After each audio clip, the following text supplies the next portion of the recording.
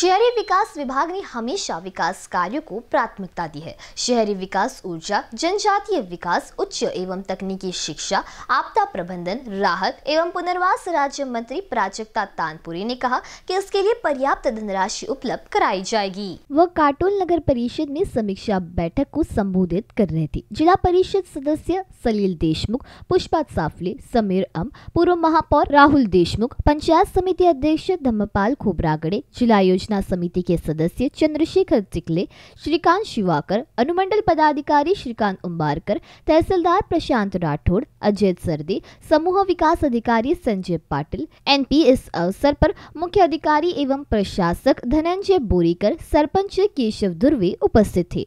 माड़ा के अधिकारियों के साथ चर्चा के बाद घरेलू धन तुरंत लाभार्थी के खाते में जमा किया जाएगा। तनपुरे ने कहा, राज्य सरकार जल्द ही आवास को लेकर नीतिगत बदलाव करेगी और नागरिकों को राहत प्रदान करेगी। काम की गुणवत्ता पर ज़ोर दिया जाएगा। उन्होंने गवाही दी कि सरकार हमेशा समर्थन करती है।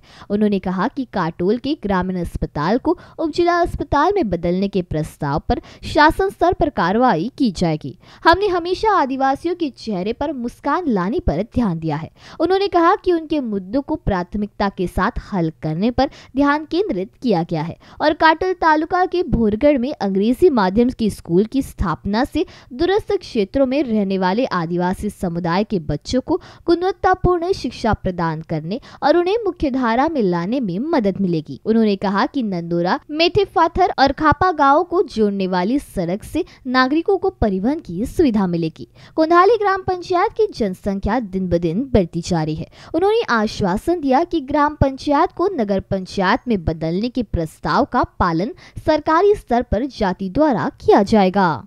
कैमरा पर्सन राजकुमार मोहड़ के साथ अभिषेक पान से बीसीएन न्यूज़ नागपुर।